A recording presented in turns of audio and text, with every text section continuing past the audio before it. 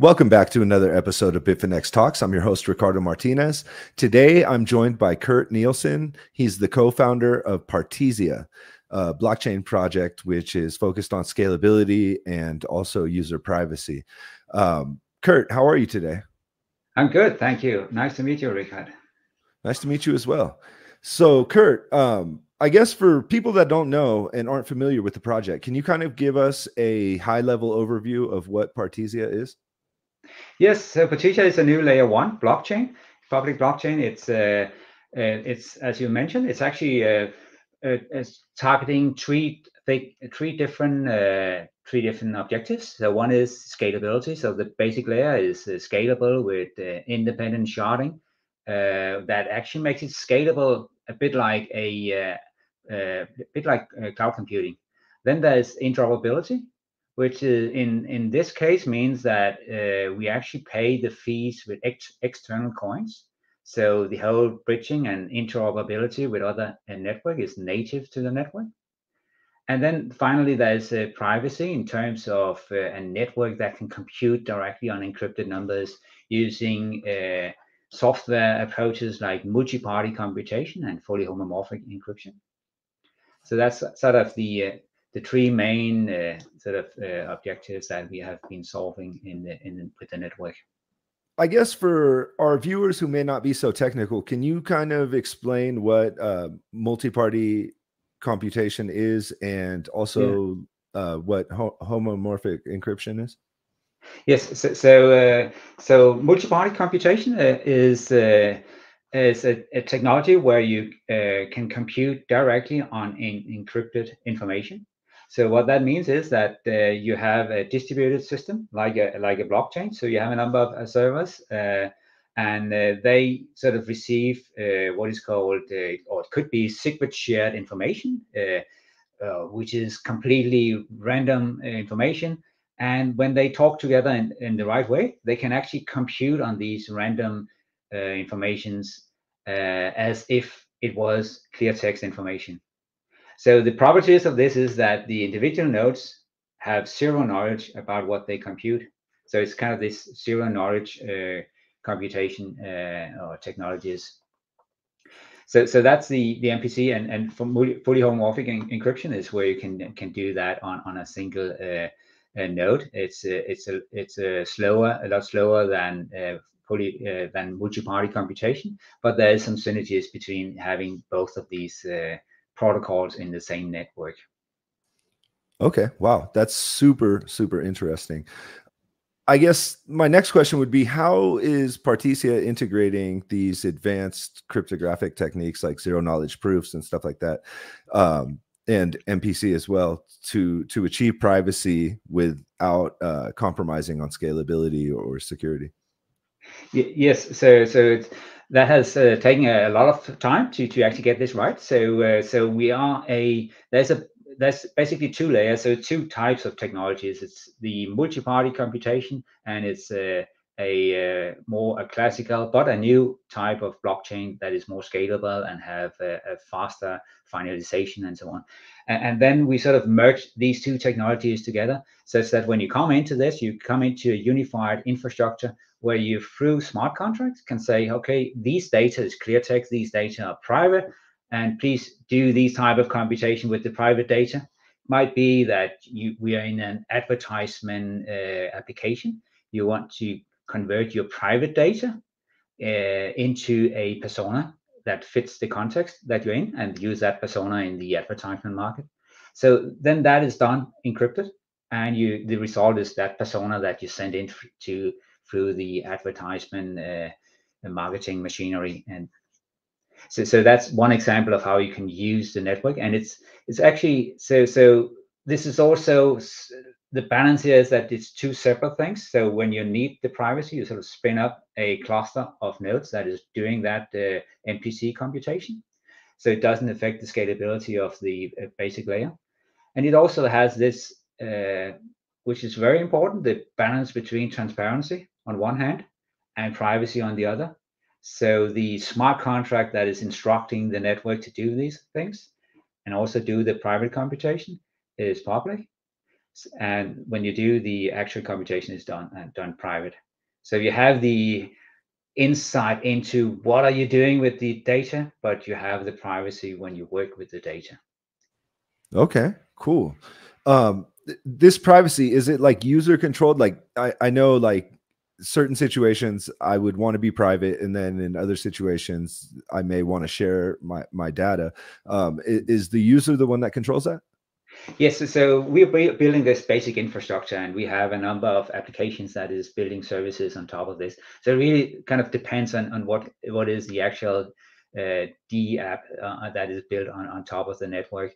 Uh, what what makes uh, most sense? If it, is it advertisement? Is it the DID solution? Is it voting system? Is it a DeFi system?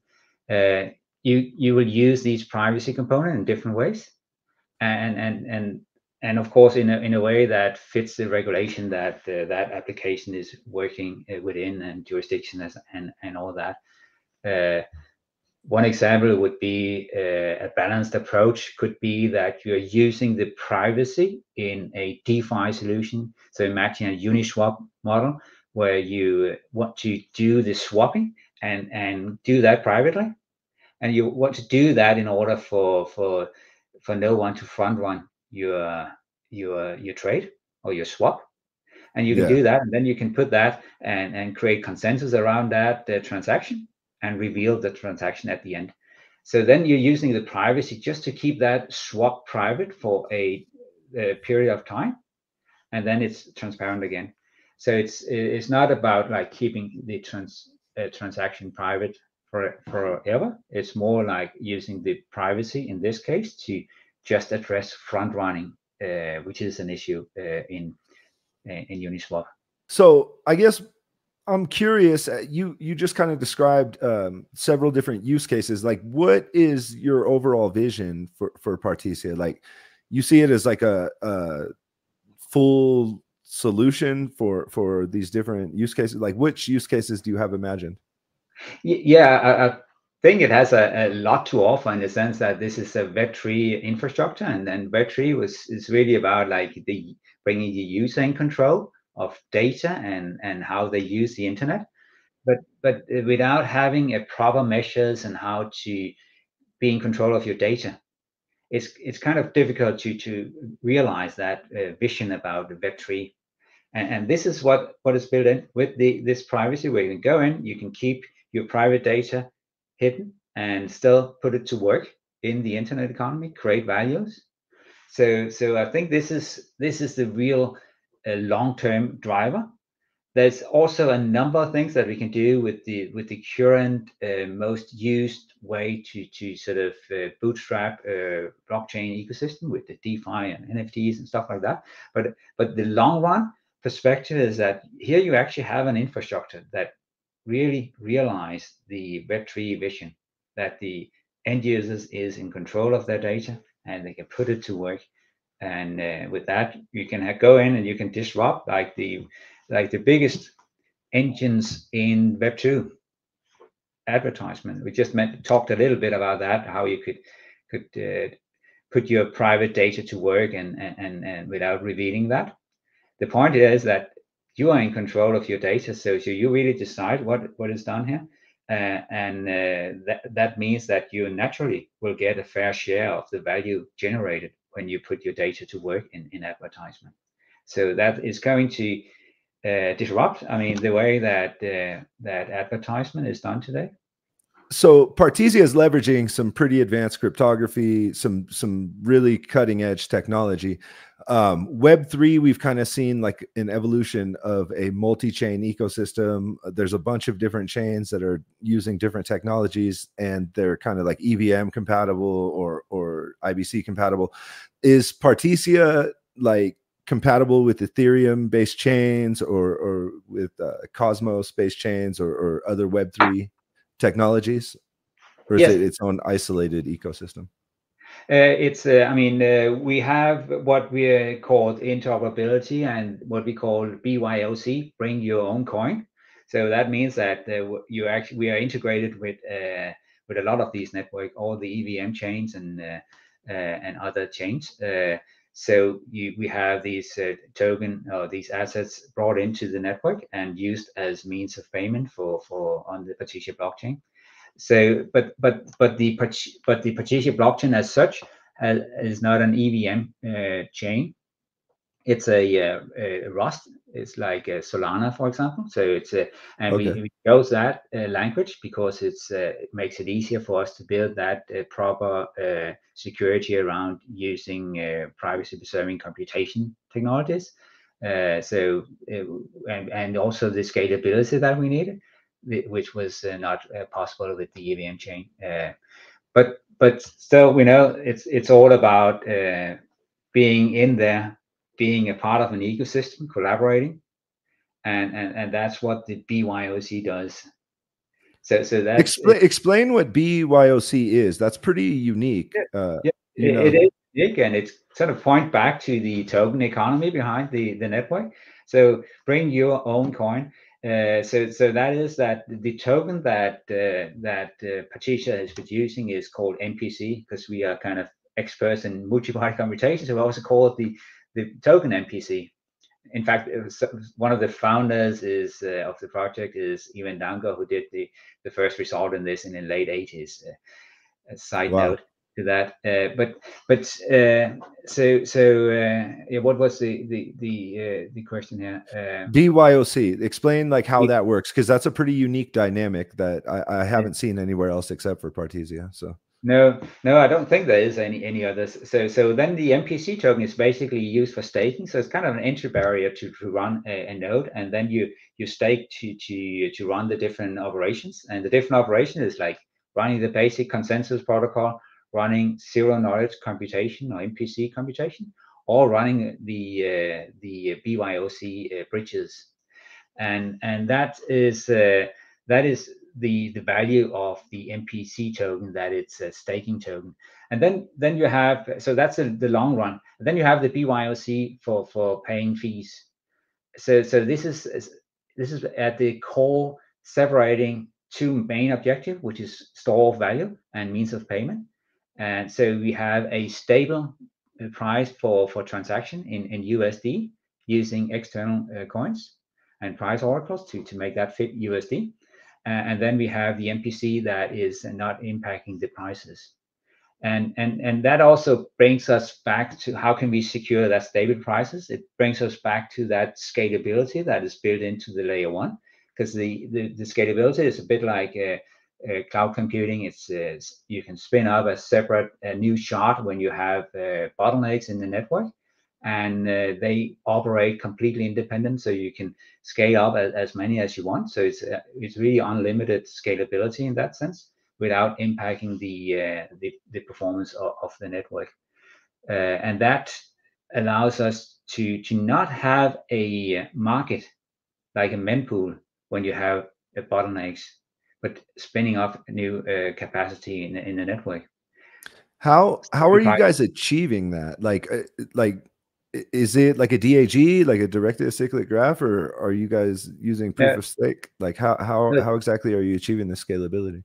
Yes, so we have a uh, what we call a fast track uh, consensus protocol. It's uh, it's actually at the essence as a BFT style kind of uh, consensus, a Byzantine fault tolerance, a couple probably yeah. most uh, most used way of creating consensus in distributed system. But it, it's it's uh, it's uh, using uh, BFT the full BFT style only if if the consensus is failing. So it's it's really optimizing the use of BFT. Uh, and whenever you have a transaction, it goes immediately into a block and get uh, and you create consensus and final, finalization right after. Uh, so so so so it's it's an optimized and and fast uh, BFT style consensus protocol. Wow, it sounds like you guys are doing some really exciting stuff. To be honest, um, so. so uh, I guess like with the emphasis on privacy, how does Partisia maintain transparency? Like, can you explain how you guys yeah. are, are kind of balancing that happy medium?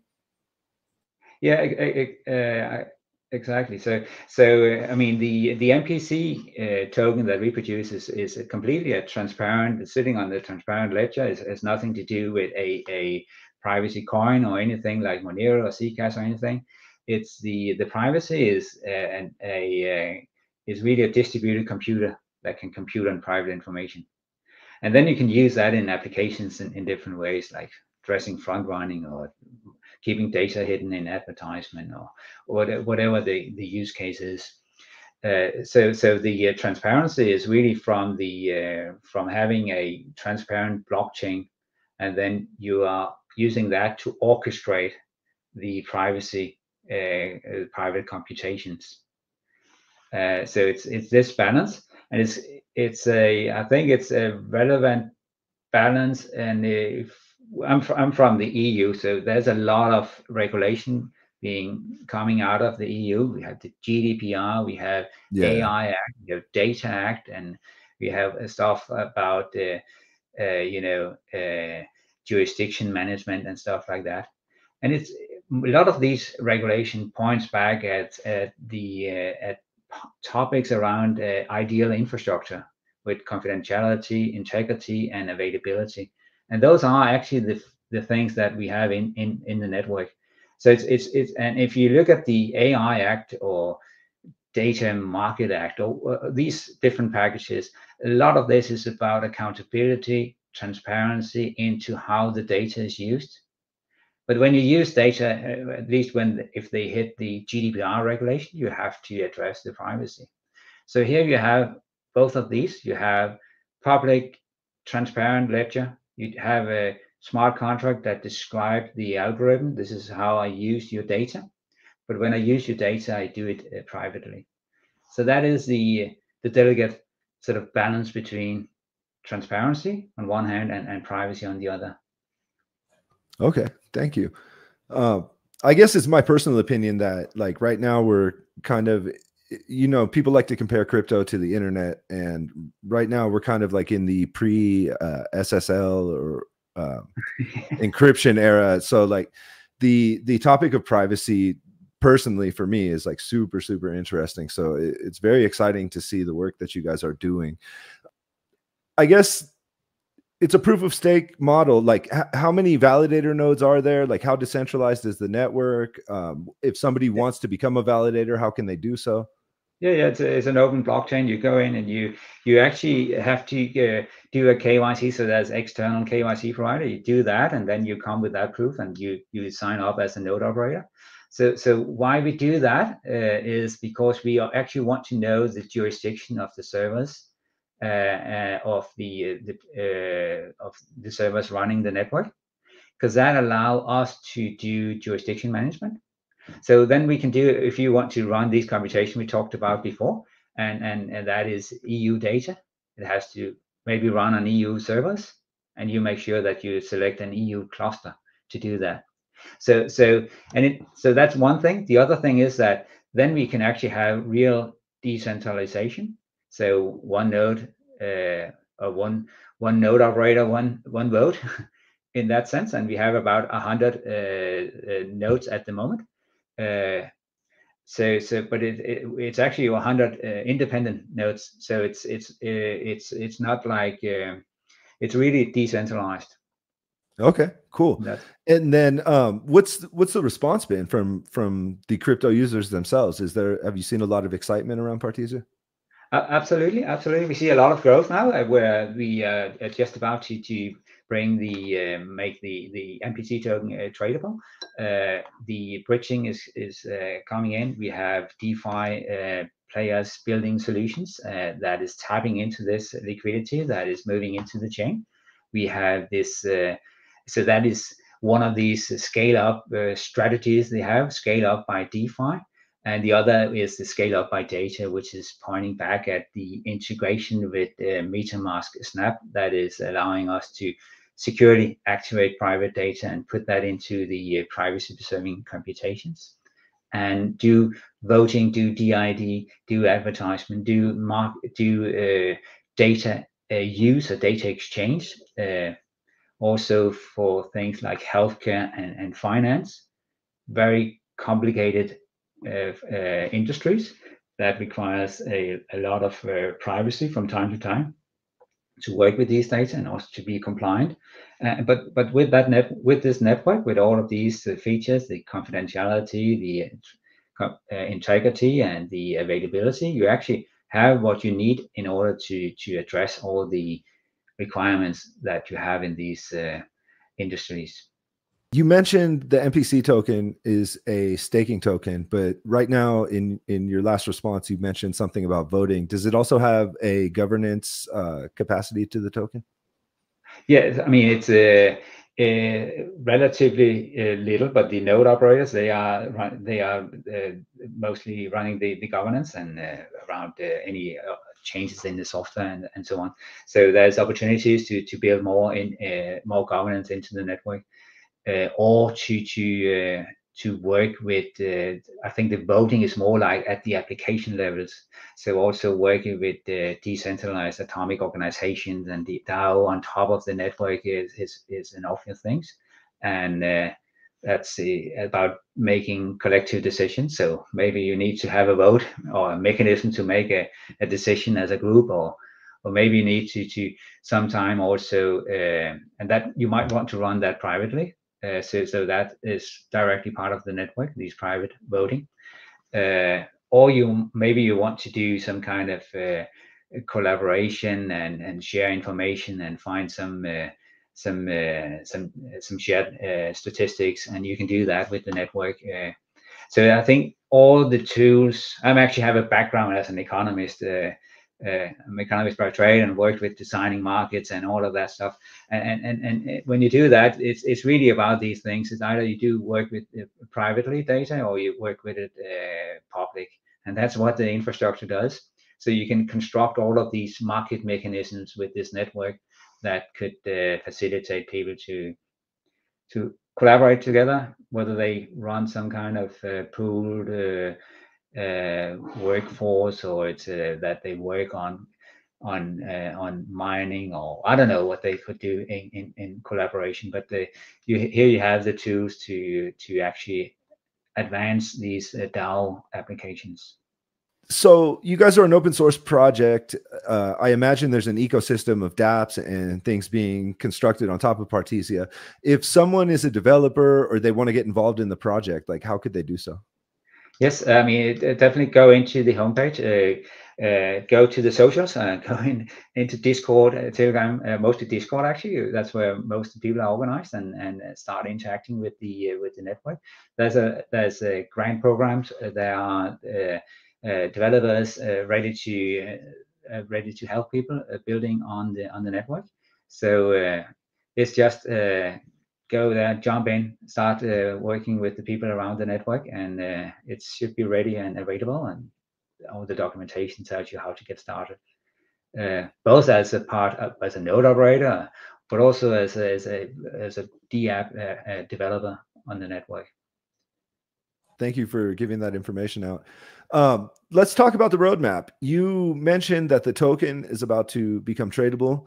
Um, what what other milestones do you guys have envisioned for 2024?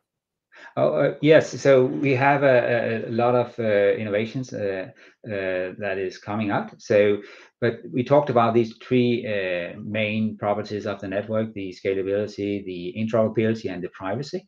And we are uh, working on improving these features in the roadmap. Different sort of technical components that is built into improving them and, and then uh, but most of the work is put into enabling different types of applications. So it's within the class of defi within the class of use of data mostly. So for the defi we have the a new approach to how to uh, how to run defi and how to run automated market maker that uh, allow you to do even more interoperability secure prices on liquidity pools that is completely separate so you can have one sitting on Solana, you can have one on Partisia and one on Ethereum, and you can still work as as if it was on a on a single uh, blockchain. Uh, these uh, uh these liquidity pools. So that's one part. That's also about the front running addressing that. Also, another product for the for the DeFi is the custody solution. So using the technology, the MPC, in, in fact, the team behind was also building the first uh, commercial company around uh, using MPC for custody solutions. Uh, and and we have that those protocol part of the network. So we're actually turning the entire network into a custody on-chain custody solution. Uh, wow, using these technologies. That's big. it, it, that's actually pretty big, and it, it's not just about small clusters of of uh, multi-sig three five nodes. It's uh, we talked about 100 nodes in the network, so it's all of these involved in in uh, using running the world's largest largest uh, cluster of MPC computation, where they produce collectively uh, signing materials that is used to to uh, run different things and uh, in the around the custody saloon, around the bridging and all that. I guess I have a question about security. Like if you're bridging and stuff like that, we've seen a lot of hacks kind of take place with these cross chain yeah. bridges. Um, mm-hmm. How are you guys addressing like the security uh, aspect of it?